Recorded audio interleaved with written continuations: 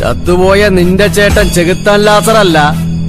അവന്റെ അപ്പൻ ലൂസിഫർ മാത്രം വന്നാലും കപ്പം കൊണ്ടേ പോവത്തുള്ളൂ. അന്നും ഇന്നും എന്നും രാജയും രാജയുടെ പിള്ളേരും സ്ട്രോങ് ആണ്. ഡബിൾ സ്ട്രോങ് അല്ല ട്രിപ്പിൾ സ്ട്രോങ്